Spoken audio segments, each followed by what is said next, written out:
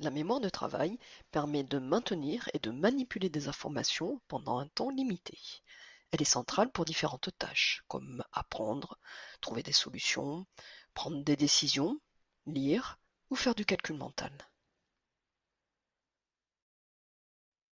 Selon le modèle de Badley et Hitch, la mémoire de travail comporte deux sous-systèmes qui vont traiter les informations sensorielles. Le calepin visuospatial, qui maintient en mémoire les informations visuelles, spatiales et les images mentales. Par exemple, lorsqu'on se remémore une personne que l'on vient de croiser, ou lorsqu'on reprend sa lecture au bon endroit de la page après avoir été interrompu.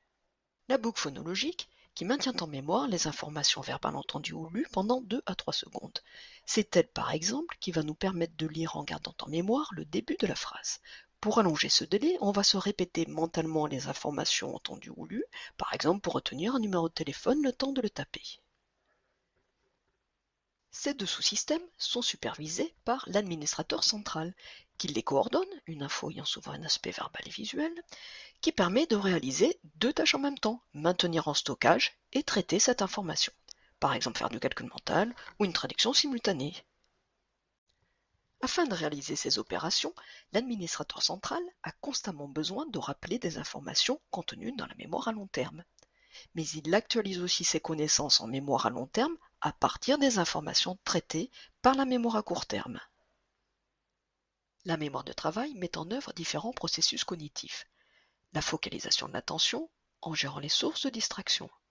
Le processus de gestion de la double tâche par exemple écouter puis prendre des notes, ce qui peut entraîner ce que l'on appelle la charge mentale quand il y a de nombreuses informations corrélées à un type de traitement.